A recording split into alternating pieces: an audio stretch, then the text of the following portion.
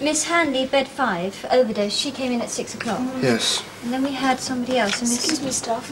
Mrs. Parker seems to have taken a turn for the worse. I'll go and take a look at her. I'll come with you. Right.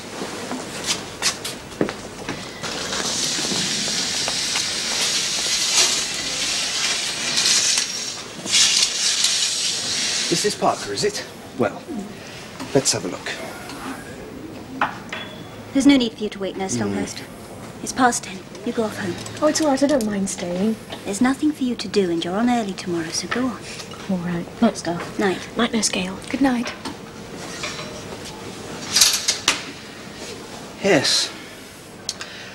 Well, I think we'll give her Hope Point 125 milligrams digoxin tonight. See how she gets on. Yes, Doctor. Keep a close eye on her for the next few hours. Uh, let me know if, if there's any change. Right. I'm just going off. I'll wait to do the digoxin, though. Nurse Gale here will be in charge. Right, I shall, I shall pop in later, see how things are going. Thank you, Doctor.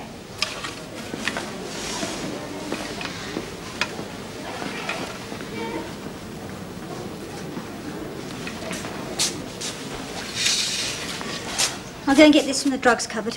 Keep an eye on things. Well, why don't you ask the number seven to do it? Oh, it's not worth it. I may as well stay.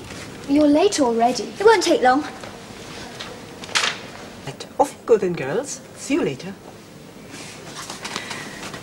Well, nurse, that's about all now, isn't it? Yes, sister. Are you on again tonight? Yes. Well, then you'd better go off and get some sleep.